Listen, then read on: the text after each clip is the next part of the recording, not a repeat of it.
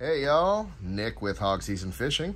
Just want to do a little video on how to tell authentic Cuban cigars from not authentic Cuban cigars. I uh, took a little trip to Mexico and uh, I was learned to say the least. I'm just kidding. Uh, taught a few things, learned a few things, and I wanted to share that with you guys, right? Uh, stopped in port, grabbed a little $10 pack of cigarillos, which uh, I enjoy sometimes on the beach, right?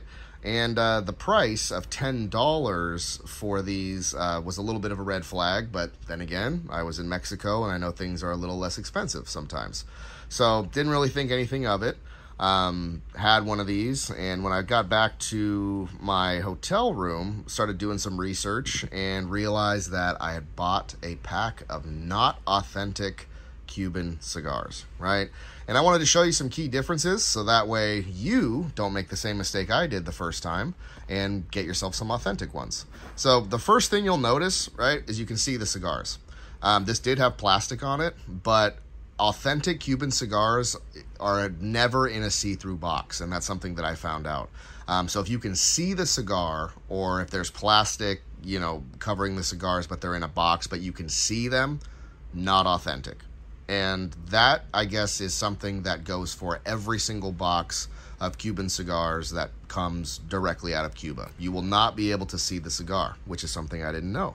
Um, so that was the first red flag, right? The second is you'll notice that there's tape on the box. I didn't notice this till later, but this is obviously uh, assembled by maybe someone in their basement. I'm not sure.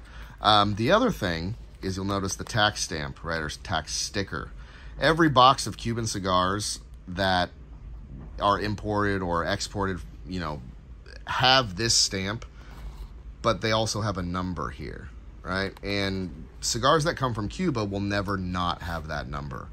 Um, the other thing you'll notice is that the logo is printed on the box and the coins should be a gold foil. And as you can see, they are dull.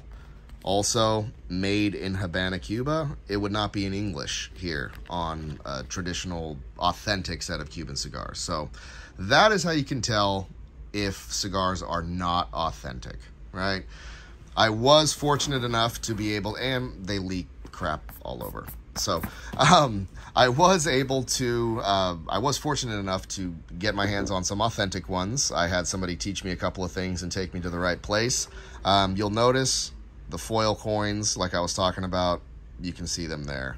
The other thing, you'll notice they have the DOP stamp on top, right? And that's a government thing. The other thing, like I said, the stamp, you can see here, but it's got the actual number. And that's something you can verify, you know, on a number of different cigar sites and, and punch that in, they'll, they'll show authentic as well. If you notice, right, Habana, Cuba, Havana, Cuba. There's no made in Havana, Cuba in English, if you notice that, like there was on the fake pack. And same on the back, right? Nothing in English. The other thing you'll want to notice is that on a authentic box of Cuban cigars, they will come covered when you open the box, right? And it's not a sticker that's printed on there, right? So if you have one that's a sticker, it's fake. So like I mentioned, you're never able to see directly into the box until you open it fully on an authentic set. So wanted to go over that with you as well. Now, if you want to buy just a single cigar, right, if a box isn't your fancy, right, always look for the barcode, okay? And you'll notice that everything's in Spanish as well, except for the actual city name, Habana, Cuba, and also the three coin logo that's printed directly on to the metal case okay? The other thing you'll want to look for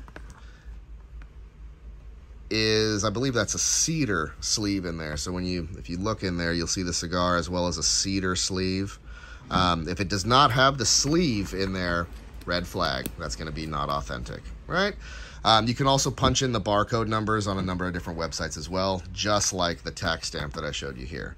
So that's all. Just wanted to give you guys a couple of pointers so that way when you go out to somewhere, you know, on vacation and are looking to enjoy a, a, an authentic Cuban cigar, you buy an authentic one. And don't fall for the tourist trap like I did the first time and get your hands on something that was made in somebody's basement. Thanks for watching, y'all. Bye.